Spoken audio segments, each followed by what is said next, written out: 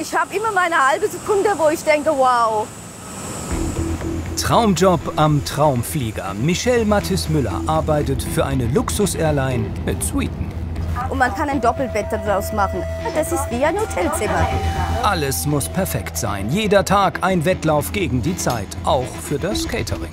Wir haben 110 Minuten. Das kann natürlich sehr knapp werden. Sternekoch über den Wolken. Johann Lafer serviert Gourmet-Menüs. Wir sind jetzt Sperrribs von der Steiermark. Hier oben ist die Luft trocken und deswegen muss es etwas intensiver gewürzt sein. Kochen im Flieger. Eine Herausforderung auf engstem Raum. 32 Menüs kommen aus einem Ofen. Das ist wirklich schwierig. Kleine Unfälle inklusive. Special Service. Especially for you. Thank you so much. Five, uh, two nine nine, cheers. In France 1919, for Brussels 125, just zero, goodbye. 31 Fluggesellschaften landen in Frankfurt, darunter auch die luxuriösesten der Welt. Über den Wolken kann nicht nur die Freiheit, sondern auch der Komfort grenzenlos sein. Wer Butler, Doppelbetten und goldene Teller in einem Flugzeug vermisst, der kann hier sein Glück finden. Diese Airlines bieten puren Luxus für den Ticketpreis eines Kleinwagens. Dafür bekommt der Fluggast Suiten, Duschen, Bars und à la carte Menüs. Natürlich vom Sternekoch. Fliegen, fast wie im Privatjet, das verspricht auch diese Airline mit ihrem Riesenvogel. Zweimal pro Tag kommt einer ihrer A380 nach Germany, heute verspätet. Die Route New York-Singapur in 22 Stunden mit Zwischenstopp Frankfurt im größten Passagierflugzeug der Welt. Das Bodenpersonal hat ab jetzt 110 Minuten für Putzen, Tanken, Catering. Noch müssen sie warten. Erst wenn alle Passagiere von Bord sind, dürfen sie loslegen. Die Maschine ausgebucht, 474 Passagiere. Alle müssen raus, auch die Fluggäste, die weiterfliegen nach Singapur. Flying with Singapore Airlines? You just go straight, ma'am. Sie müssen warten im Sicherheitsbereich, sagt Michelle Mathis Müller. Verantwortlich für die Abfertigung. Heute zeigt sie uns exklusiv ihren Lieblingsflieger. Ich bin sehr stolz, na, selbstverständlich. Also die A380, wir haben händeringend gewartet bis sie wieder kommt. Warum gefällt ihr der Flieger so sehr? Weil er einfach gigantisch ist. Ähm, wenn man mitfliegt und er ist so ruhig in der Luft und das ist so ein riesen fetter Vogel, die so elegant abhebt und in der Luft einfach schwebt. Also das ist, da muss man begeistert sein. So, willkommen an Bord. Wie Sie sehen, ganz große Trubel. Das sind die wichtigsten Leute hier.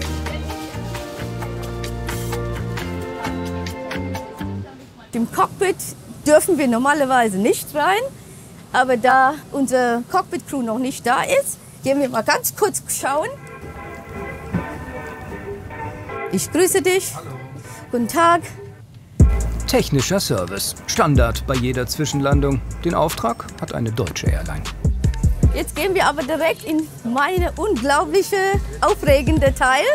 Die A380 hat drei Decks. Unten für Fracht und Gepäck, im Mitteldeck die Economy und das Upper Deck ist für die Upper Class.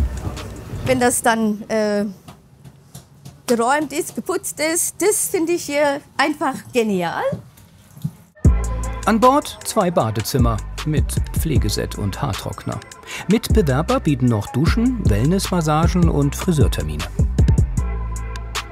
Hier kann man zur Ruhe kommen. Man hat Platz. Sehr schick.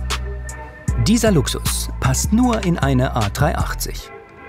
Auch Suiten mit Schreibtisch, Internet, Telefon, Baumwollbademantel, Hausschuhe und Doppelbett.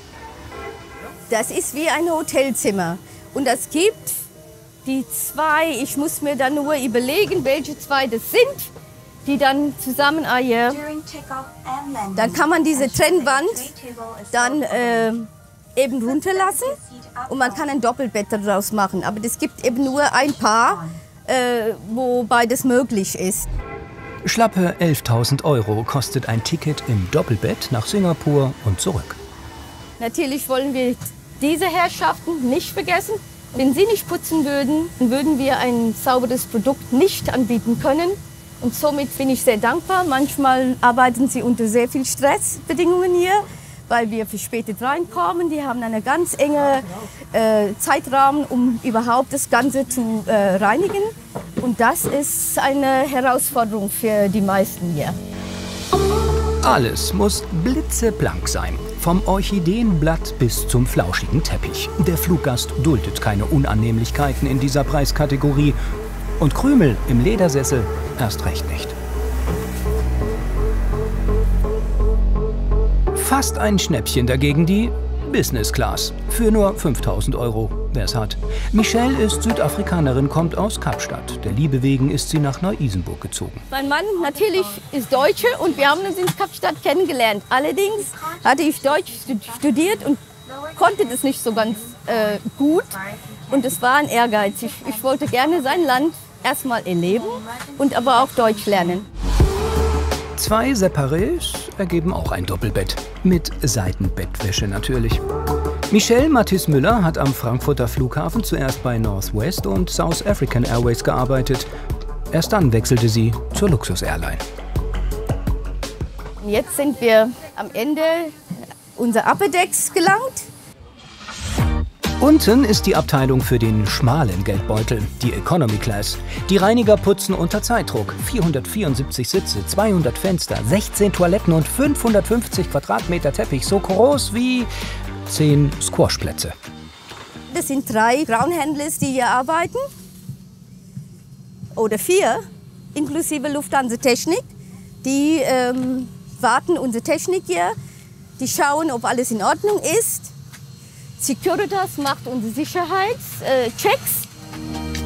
Noch eine Stunde bis zum Start. Die Arbeiten in der Kabine sind im Zeitplan. Ich möchte, dass wir dann runtergehen, weil ich hätte gerne, dass du auch unser Team, unser ähm, fliegende Personal dann kennenlernst. Kommt das Gepäck pünktlich? Werden die Kollegen am Boden rechtzeitig fertig? Michelle will nachschauen. Luxus Airlines servieren keine normalen Sandwiches. Sie arbeiten mit Sterneköchen. Ein Caterer in Kelsterbach und 26 Gerichte. Nach Rezepten von Johann Lafer.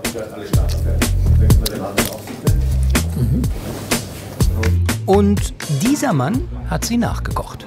Ah, can you put to the vinegar a little bit of lemon oil? Also, more, more lemon oil. Lemon oil. Und schmeckt's Herrn Lafer? Ja, das erste Urteil war sehr gut vom Johann, außer ein bisschen äh, Lemonöl. Sehr gut. Jetzt warten wir mal ab. Das ist der erste Teller. Ja, sie haben viel vor heute. Sie testen 15 von 26 Speisen. Gourmet-Menüs für die First und Business Class. Ein Auftrag von Singapore Airlines an Johann Lafer. Seine Rezepte kann er nicht in großen Mengen produzieren, dafür braucht er Abdi Judakul, Küchenchef, spezialisiert auf Massenproduktion von Bordmenüs. Wird er Johann Lafer überzeugen? Auch die Airline? Den Stationsmanager für Deutschland und deren PR-Manager? Kochen über den Wolken ist anspruchsvoll, auch für Sterneköche. Besondere Herausforderung ist natürlich Airplane oder Airline Catering, weil auf 10.000 Meter Höhe man genau weiß, dass durch die Trockenheit auch zum Teil in der Kabine man nicht äh, so vollumfänglich die Aromen aufnehmen kann wie auf dem Boden. Man muss alles extrem würzen. So zum Beispiel, alle kennen das, Tomatensaft mit Salz und Pfeffer. Ich glaube, die wenigsten trinken das hier, aber im Flugzeug sehr beliebt. Die asiatische Airline arbeitet mit Spitzenköchen aus der ganzen Welt. Kann sich Johann Lafer mit seiner alpenländischen Küche dort einreihen? Sie starten mit den Vorspeisen. Das ist jetzt Rostbeef, Kartoffelstampf und das ist Frankfurter grüne Soße. Also jetzt spätestens weiß dann die ganze Welt, was Frankfurt für eine Soße hat. Nicht nur Fußball, sondern auch, was die Gutes zum Essen haben. Naja, eher eine Botschaft für die Gäste der First Class und den Suiten. Für sie ist dieser Gang gedacht. Andi, können wir da mit, äh, Schnittlauchöl machen. Also Schnittlauch mit, auf, mit, mit, mit Pflanzenöl auf 80 Grad erhitzen, viel Schnittlauch mixen, stehen lassen, durch den Durchschütten, dann wird das grün und dann kannst du es hier drüber träufeln. Und dann hast du richtig schön ein, saftiges Rostbeef. Schnittlauchöl. Wir butter little auf the, auf was ist Schnittlauch? Abdi Jurdakul ist Küchenchef beim Gourmet-Caterer aus Kelsterbach. Hast du das nach meinem Rezept gemacht, die Frankfurter Grillsoße? Ja. Ist gut. Mit dem Öl aufmixen oder mit Genau, ganzen genau. mit, Genau mit, das gekoch- Rezept. mit gekochten Eiern da. Ja. Ja, gut. Er sei österreichischer Türke und im Dauerstress. Seit 18 Jahren macht er mit seinem Team Haute Cuisine. Sterneküche auf den Flieger ist schwierig, weil da oben muss es halt perfekt funktionieren mit Aufwärmen, äh, darfst nichts überheizen, nichts überhitzen und da müssen wir ein bisschen mit, mitschauen, dass es nicht passieren kann. So müssen wir das äh, äh, produzieren, äh, anrichten, äh, um sicherzustellen, dass der, dass der Fluggast es auch so bekommt. Apropos heiß, Vorspeise Nummer 3 kocht seit 10 Minuten. Oh, this is good, huh? Das ist der Barley Soup with Smoked Mountain Sausage. Bündner Gerstensuppe eigentlich, ja? Ja. mit äh, grober Bergwurst.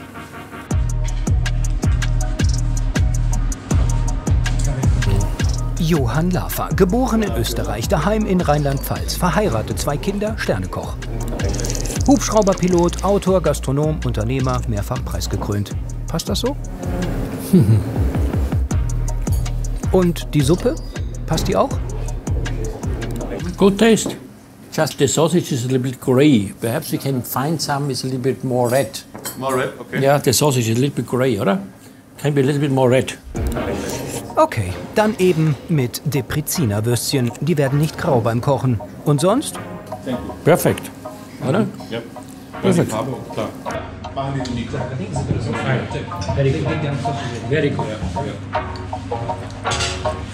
Ich bin äh, sehr begeistert. Jedoch natürlich muss man auch immer sehr kritisch sein, denn letztendlich steht man dann dafür, was angeboten wird. Und, äh, aber wir sind auf einem sehr guten Wege, weil die Herausforderung ist in der Tat, die Mentalität ist nicht immer mit unserer vergleichbar. Und wir lieben das so kräftig, so intensiv.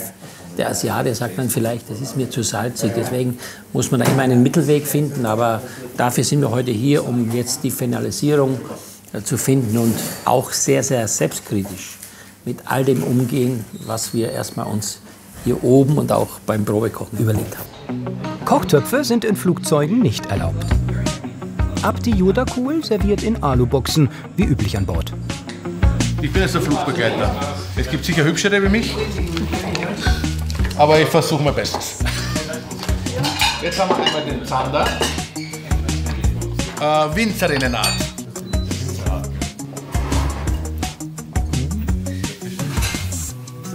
Sander. Perfekt, perfekt, perfekt. Läuft für Abdi. Er war auch Großküchenchef in Österreich, Miami und New York. Ich habe angefangen zum Lernen mit 15, jetzt bin ich 50, 35 Jahre. Man sieht es hier Ich, gar ich nicht an. es nicht missen. Man sieht's mit. Vielen Dank, Herr Laffer. Äh, Das war immer mein Traum. Schnell weiter mit dem Testessen. Das Fleisch wird kalt. Eine Quellhuhnbrust, gefüllt mit Saftschinken und Bergkäse. Das Huhn bitte kräftig gewürzt und saftig, betont der Stationsmanager der Airline. Nur so schmeckt's auch den asiatischen Gästen. To get these two portions.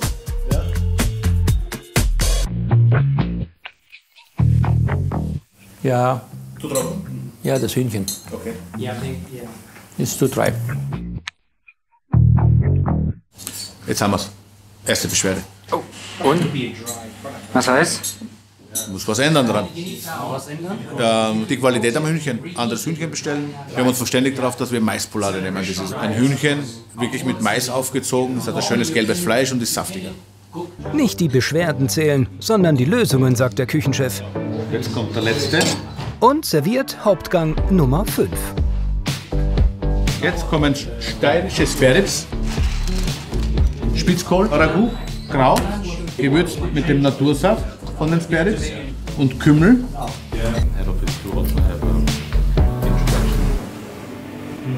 But you cannot get some higher one? Die Spare Ribs sind Herrn Lafer zu dünn. Und nun? Ich frage mal jemand. Geschmacklich wahrscheinlich besser, durch die Höhe, saftiger und wir kriegen die nicht in der Menge. Ist schwierig. Herr Lafer hat natürlich Beziehungen zu Fleischlieferanten, fast weltweit. Grüß dich, sitze gerade bei Singapore Airlines und habe eine Frage. Wir bräuchten pro Woche 50 Kilogramm Sperrribs. Pro Tag oder pro Woche? Pro Tag. Pro Tag 50 Kilo Sperrribs, aber nach unserer Vorgabe geschnitten. Äh, ist das was, was du besorgen kannst? Alles klar. Servus. Fall gelöst. Jetzt zu den Nachspeisen. Fünf Stück. Ob sie ankommen? Zurück zum Flughafen und zum noblen Airbus A380 am Terminal 1. Seit 50 Jahren landet die Airline in Frankfurt. 3. August 1972, der Jungfernflug, damals noch als Malaysia Singapore Airlines. Mit einer Boeing 707 flogen sie von Singapur über Mumbai, Bahrain und Rom nach Frankfurt und weiter nach London und zurück. Seit 1987 fliegen sie nonstop in den Stadtstaat. Weltweit fliegen sie die erste A380 im Linienflug. In Frankfurt landen sie als erste ausländische Airline mit dem Giganten. Seitdem ist Michel Mattis Müller in den Flieger verliebt. Es ist einfach sehr beeindruckend. Es ist sehr beeindruckend. Eine beeindruckende Sache ist das, den Zoo zu betrachten. Und wenn ich auf der Rampe bin, auch wenn ich gestresst bin und wir müssen ausladen oder wir müssen irgendwas, ich habe immer meine halbe Sekunde, wo ich denke, wow, das ist, das ist einmalig, sowas, ja. Wir gehen jetzt, wenn, wenn unsere Maschine ankommt, ist es super wichtig für uns, auch zu schauen, dass die Ladecrew dann da ist. Wir möchten, dass alle Gepäckstücke, die uns erreichen, auch verladen werden. Der Flughafen hat viel zu wenig Personal. Nach Wehen der Pandemie, sagt die Verantwortliche für die Abfertigung. Tausende Koffer kommen zu spät oder gar nicht. Ihr Lieblingsplatz ist übrigens hier.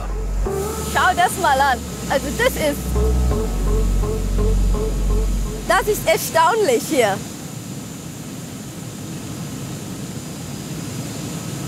Das sind Dimensionen, ne? Ich bin sehr klein, aber wenn ich hier stehe, dann ist es einfach überwältigend. Ganz nebenbei beginnt das Boarding. Ihren zwei Kindern und ihrem Schwiegervater erzählt sie oft von ihrem Lieblingsvogel. Mein Schwiegerpapa war ein Lufthansiat und ähm, jetzt natürlich lebt er durch Erzählungen und wundert sich natürlich sehr, wie die Welt sich verändert hat, weil es ist wirklich viel stressiger. Also die Umlaufzeiten sind ja auch knapper. Unsere Crew zum Beispiel, die haben kaum Zeit, das Land zu genießen. Sie müssen schlafen, sie müssen ruhen, damit sie frisch sind für die nächste Etappe. Und so ist es halt. Ne? Also und zu seiner Zeit war das so, dass man äh, drei Wochen Osterinseln, drei Wochen Tokio. Ich glaube, in diesen Genuss kommen wir nicht mehr. Ein Genuss wäre es heute auch pünktlich abzufliegen. Doch das sieht schlecht aus, hat sie erfahren. Mehrere Container mit Gepäck fehlen. Der Flug nach Singapur dauert zwölf Stunden. Gepäck hinterher zu schicken, Tage. Dann starten sie lieber mit Verspätung. Wie viele Container haben wir noch dann? Zehn Container müssen wir beladen, okay. Um Zeit zu sparen, wird die Abfertigung von Flug SQ25 abgeschlossen. Türen zu, Brücken weg, Schlepper dran. Somit können sie sofort raus, wenn die fehlenden Container an Bord sind. Doch das kann noch dauern. Probleme mit der Beladung, da muss der Kollege dran. Was gibt es für Probleme? Also es, es hat zu lange gedauert. Ich gehe davon aus, dass da wenig Personal wieder war. Und somit ist es ein bisschen knapp jetzt. Wir müssen sich beeilen. Aber der Kollege ist informiert. So, ich verabschiede mich. Sage ciao. Ihr nächster Lieblingsvogel kommt morgen früh um kurz vor sieben.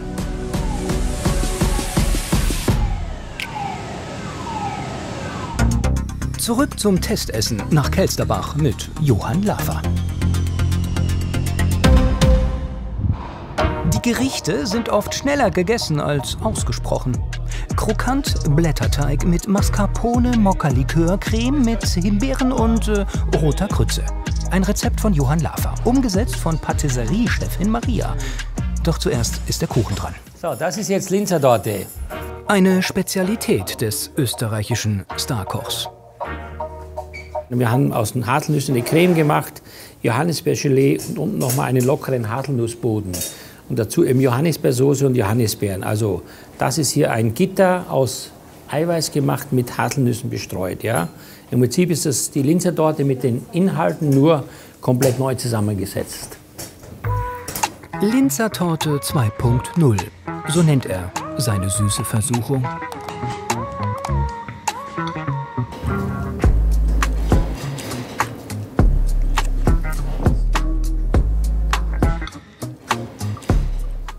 Maria, wenn es geht, dem Boden die Hälfte nur. Und dafür die Creme höher. Also das Verhältnis ist zwei Drittel Creme, ein Drittel Boden. Das ist mir, sonst ist es zu bisschen zu mastig. Also weniger, weniger Boden. Sonst geschmacklich super. Alles gut, sehr gut.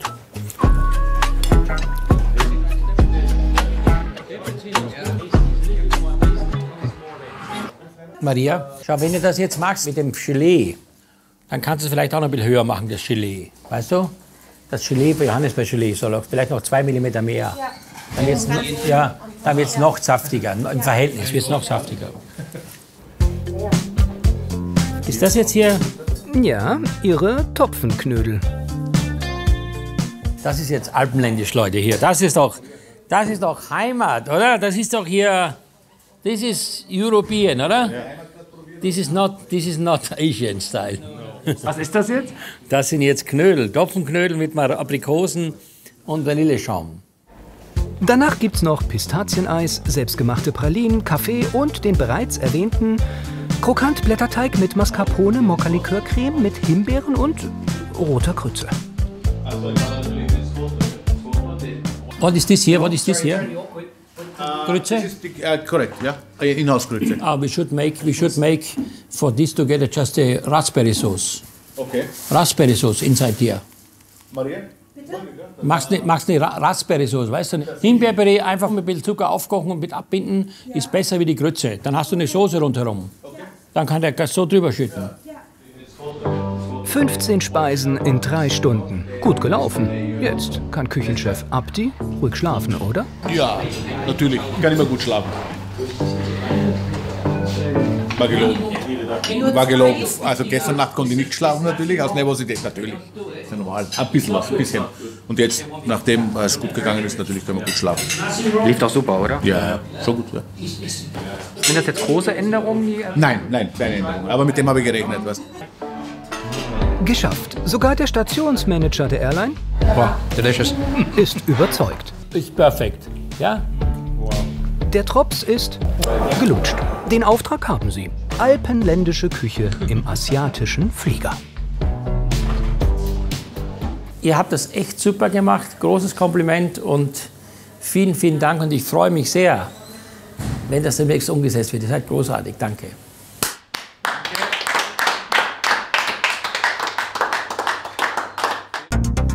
Zurück zum Flughafen. Drei Wochen nach dem Testessen.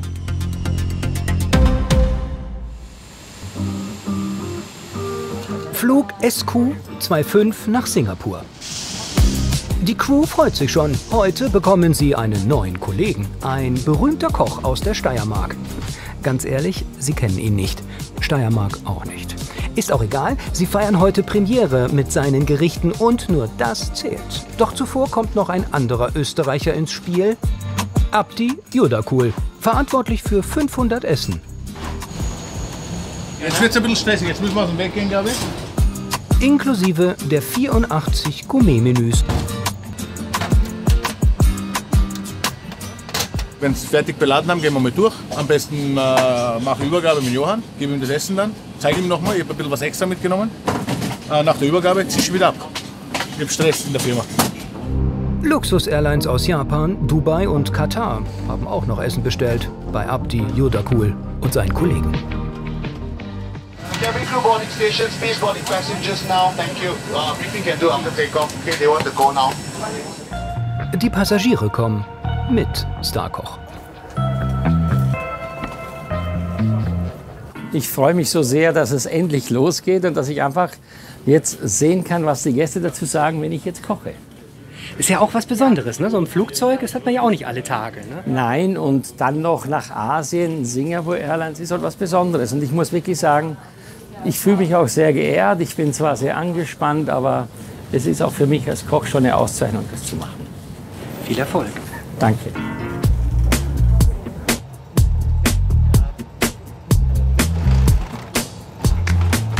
Okay, kein Fall. Alles gut? Ja, bei dir? Alles im Griff? Ja, schön. Okay. Alles super. Ich würde sagen, ihr nehmt so mal Platz und dann äh, treffen wir uns kurz. Wir gehen jetzt kurz Gehen durch. Keller, ja. Okay? Genau, ja, okay. Thank you, nice to meet you.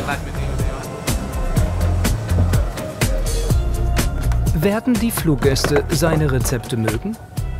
Haben Abdi und sein Team richtig gekocht? Aufregend ist jetzt noch nicht. Aufregend ist, wenn die Maschine abhebt. Und ich hoffe, es schmeckt jedem, weil 30.000 Fuß oben schmeckt das Essen anders. Noch 30 Minuten bis zum Start. Menübriefing unter Köchen. Okay. Ja? So, das ist jetzt klar. Das ist Rostbeef für die First Class mit dem und die Frankfurter grüne Soße. Genau, so schickt man das hin. Was? Genau. Mache ich alles schön drauf, ja.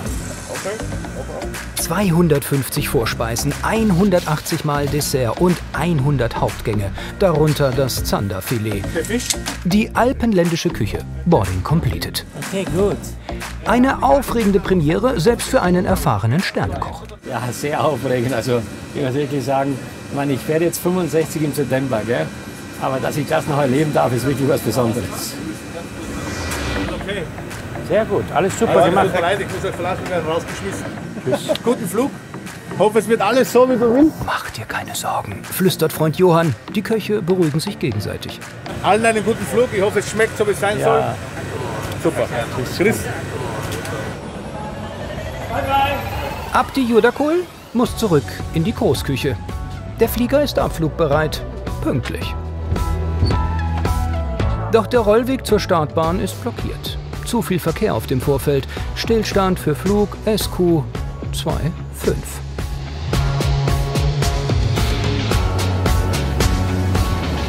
Vierzig Minuten später. Endlich. Der Weg ist frei.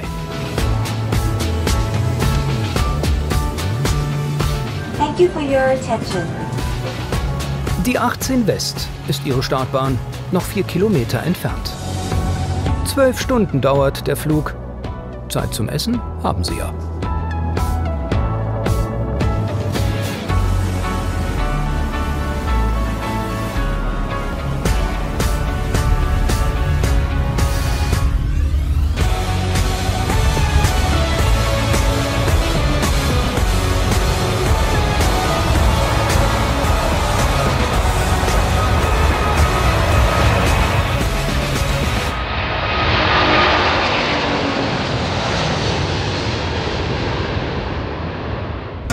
Johann Lafer fliegt nach Singapur und Abdi Judakul kocht wieder in Kelsterbach.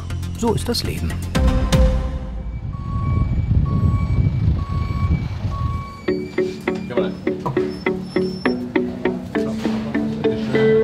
Hier arbeiten sie im Auftrag von 15 Fluggesellschaften am Frankfurter Flughafen. Das ist Emirates Starter.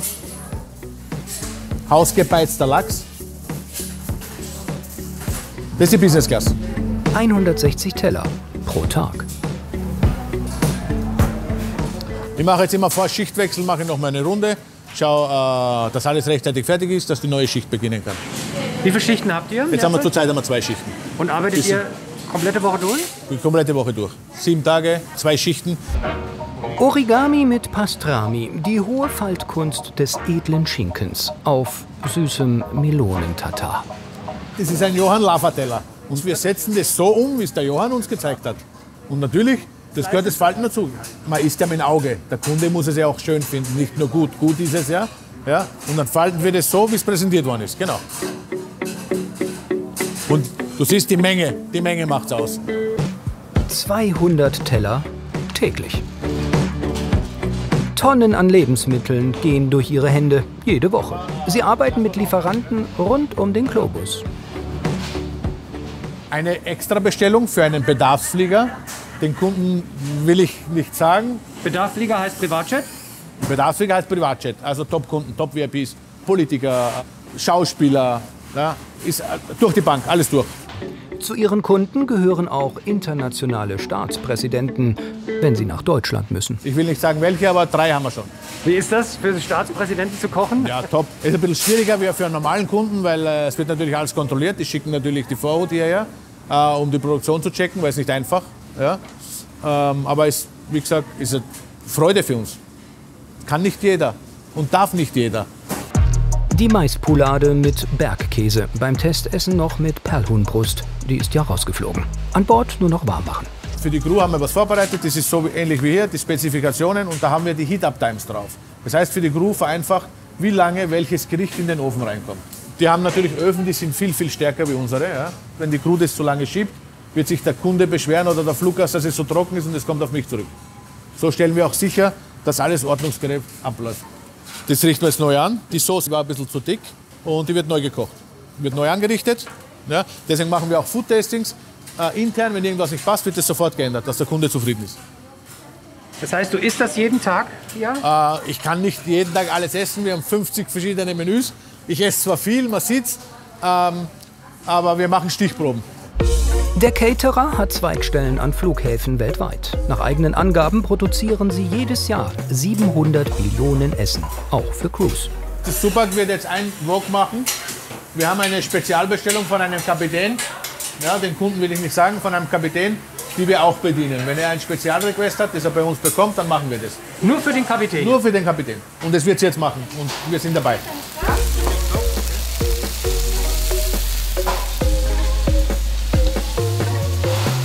Supak Schmidt kommt aus dem Nordosten Thailands. Seit 14 Jahren lebt sie in Deutschland. Sie kocht landestypisch nach ihren Rezepten. Wo haben Sie kochen gelernt? Bei meiner Mutter. Das ist fertig. Dann wird es angerichtet mit Reis und geht auf äh, den Flieger, wo der Captain es bestellt hat. Vielen Dank, Supak.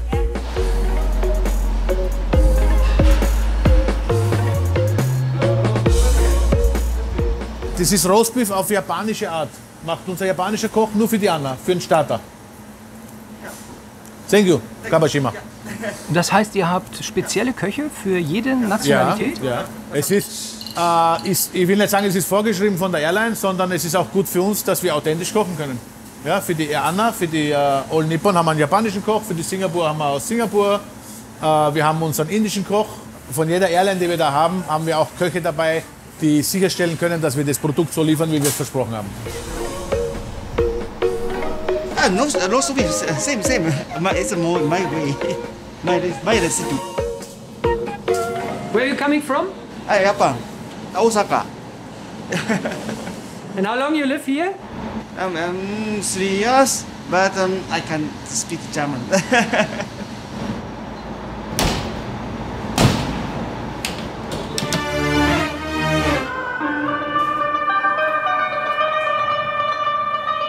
Die Arabic-Metze für die Emirates wird das. In der Business Class, ja, alles hausgemacht, nichts gekauft. Da drüben Mandi Chicken, Emirates, in der Business Class auch. Hier ist der Halal-Bereich. 150 Teller, nur für eine Airline, jeden Tag. Alles strikt getrennt. Spüle, Mitarbeiter, Produktionstische, nichts und niemand darf mit Nicht-Halal-Produkte in Berührung kommen. Es gibt nichts Schlimmeres, als wie einen Fehler zu machen bei einer Halal-Airline, wo man irgendwas äh, verwenden, das Schwein enthält oder Alkohol. Das ist ein No-Go. 120 Angestellte, darunter sieben Köche hat der Caterer. Bei so viel Stress kann Abdi überhaupt entspannen nach Feierabend? Ja, Motorradfahren. Motorradfahren, wo ich keinem zuhören muss, wo ich mit keinem sprechen muss, sondern nur den Motor hören. Das ist meine Entspannung. Und das mache ich, wenn das Wetter mitspielt, fast jeden Tag nach der Arbeit. Abdi wohnt in Kelsterbach, ist verheiratet und hat zwei Kinder. Gut, ich melde mich dann bei dir. Gut? Tschüss. So, bitte sehr. Jetzt gehen wir in die Patisserie.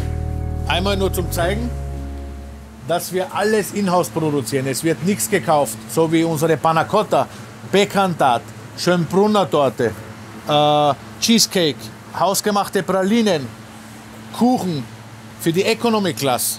Alles in-house. Die Topfenknödel à la Lava. Zubereitet von Sarah Schumann. Dessert für First Class und Sweeten. Sehr beliebt aktuell der Himbeerkuchen. 35 Stück am Tag. Und, nicht einfach zu machen. Das muss wirklich einzeln Man geschichtet muss werden. erst den Boden machen, dann eine Schicht Mousse, dann kommt das Gelee, dann noch eine Schicht Mousse, dann wird die Schokolade drüber geraspelt. Und das muss natürlich dann immer gekühlt werden zwischendurch. Ja, genau. Also es ist schon aufwendig, ne? Sehr Jetzt aufwendig. Nicht, dass man schnell fertig ist. Und bei anderen Airlines, was läuft da so gut? Bei Etihad haben wir zum Beispiel äh, Buchteln oder die Schokotart. Und bei Oman haben wir so einen Mandelkuchen mit Kirschen. Also es gibt verschiedene Sachen, genau. Und da gibt es meistens Kompott dazu und Vanillesoße und frisches Obst und Minze zum Ausdekorieren. Also es wird nie langweilig. So, bitte sehr.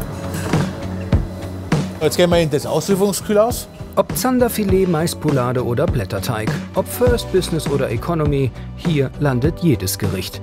Mit Kühltransportern fahren sie das Essen zum Flieger, drei Stunden vor Abflug. So sehen die Öfen aus. Die bestücken wir mit warmem Essen in den Laden. Ja? Werden oben dann direkt in die Öfen geschoben und aufgeheizt. Wieder ein Flieger fertig. So sieht es aus. Privat liebt Abdi die einfache Küche. Pizzeria, Wirtshaus. Genau das Richtige zum Feierabend. Von Kelsterbach Richtung Schwarzes Meer. Premiere in 11 Kilometern Höhe mit Sternekoch Johann Lafer. Alpenländische Küche in einer asiatischen Airline serviert vom Sternekoch eine Premiere. Wie kommt das an? Im Ausland ist der Ruf der deutschen Küche voller Vorurteile, sagt Johann Lafer. Dabei können wir doch mehr als Bratwurst und Sauerkraut. Die Flugzeugküchen sind klein im größten Passagierflugzeug der Welt. Für ihn kein Problem. Der Mann kennt sich aus in jeder Küche. Bist du das Frühstück für morgen? Die Croissants sind jetzt hier gelagert, sind einwandfrei eingepackt, die werden morgen aufgepackt. Ich muss das verstehen, sonst habe ich ein Problem, wenn ich mir was überlege, wie geht das überhaupt? Ich meine, ich muss, deswegen fliege ich auch selber oft und ich helfe mit, damit ich das Gefühl habe, ich kenne mich da aus, sonst habe ich ja, sonst, wie soll das denn gehen? Guck mal die ganzen Wegen hier. So wenig Platz für das alles, es ist ja Wahnsinn. Man muss das System verstehen, bevor man mit dem Kochen anfängt, sagt der Mann aus Guldental. Guck mal, hier, das sind die Gitter. Da stehen zwei Teller drauf, zwei Aluschalen. Das sind 2, 4, 6, 8, 10, 12, 14, 16, 16 Schalen sind das. Das ist also dann quasi 32 Menüs kommen aus einem Ofen. Wenn du hier jetzt 90 Passagiere sitzen hast, drei Ofen, jeder will was anderes. Alles muss gleichzeitig heiß sein. Die Dinge haben andere Garzeiten. Das ist wirklich schwierig. Die Gäste in den Suiten bekommen zuerst ihr Essen. Ein Elf-Gänge-Menü. Wahlweise mit Fleisch oder Fisch. Fast alle wollen Zander.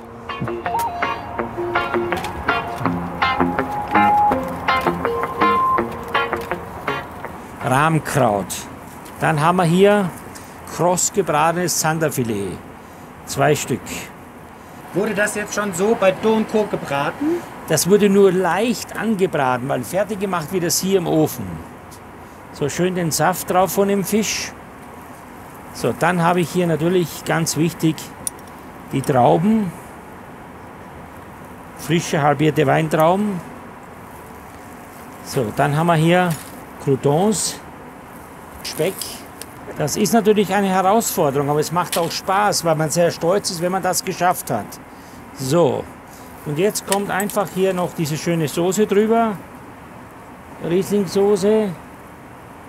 Es ist alles sehr heiß. Noch ein bisschen was Grünes drauf. Noch ein bisschen Dill drauf zupfen. So. Und schon haben wir zwei Teller fertig.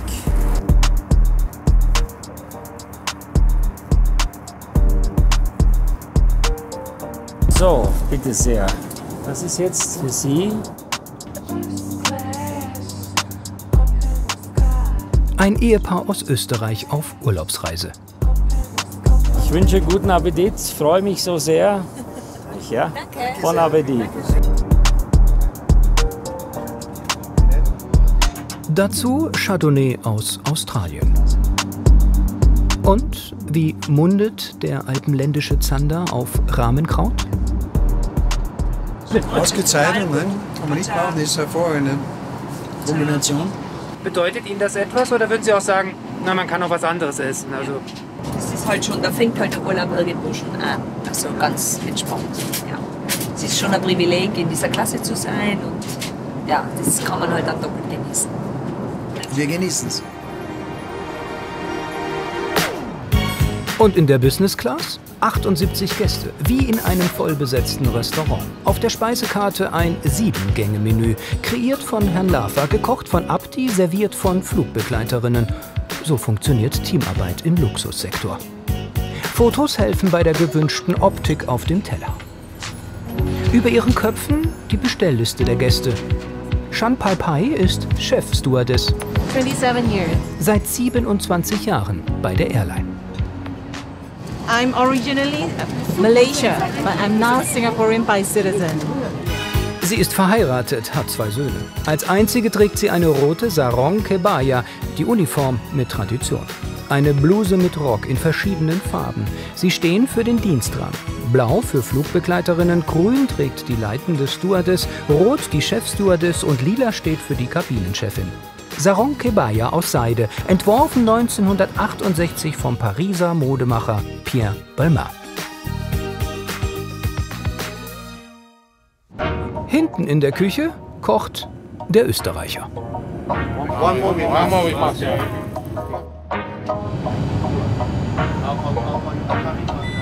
Die Spare Ribs müssen aus dem Ofen. Hier sehen die zum Beispiel Medium Steam, Pasta, Noodles, Beef, Wheel and Chicken. Also die haben keine Temperaturregelung. Sie müssen nur sich verlassen auf das, was hier steht. Und das ist die große Herausforderung. Es ist ein Wahnsinn, herauszufinden, wie lange das dauert, dass das Fleisch warm ist und das Gemüse nicht verkocht ist. Die Teller vorgewärmt. Ja, muss sein. Sind vorgewärmt, weil sonst wird das Essen, bis es aber kalt. Can I start now? Alpenländische Kulinarik Teil 2. Spare auf Kräuterfleckerln mit Kümmel. Das Fleisch ist jetzt dicker als beim Testessen. Übrigens, Wiener Schnitzel geht gar nicht im Flugzeug, sagt Johann Lafer. Die Panade schmeckt aufgewärmt fürchterlich. Jetzt gibt es was typisch alpenländisches, sind jetzt Sperrribs von der Steiermark mit Krautfleckern, mit Weißkraut. Im Flieger gibt es keine Herdplatten, kein Grill, nicht mal eine Tiefkühltruhe für das Pistazieneis. Schau mal her, ich zeig dir mal was. Das ist die Möglichkeit, wie man, wie man bei einer A380 etwas tiefgekühltes serviert. Schau her. So transportiert man das. So, wie jeder beim Supermarkt sich das Eis holt. Steht hier oben drinnen. Guck mal hier. Und nicht mehr. Es gibt keinen Tiefkühler. Das ist doch der Hammer, oder?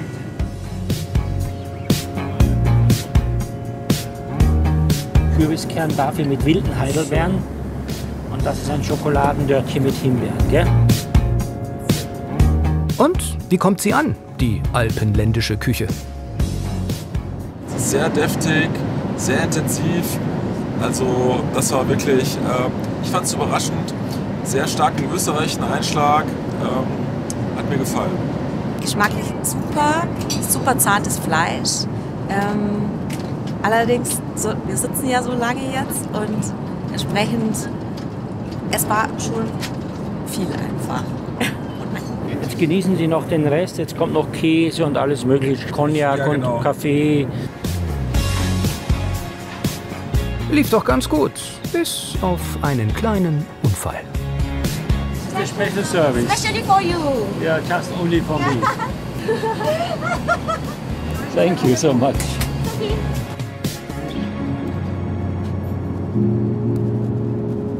Die Menüs von Johann Lafer. Ein Stück deutsch-österreichische Kultur auf dem Weg nach Singapur. In drei Tagen fliegt er wieder zurück nach Deutschland. Die Airline möchte noch mehr alpenländische Rezeptideen.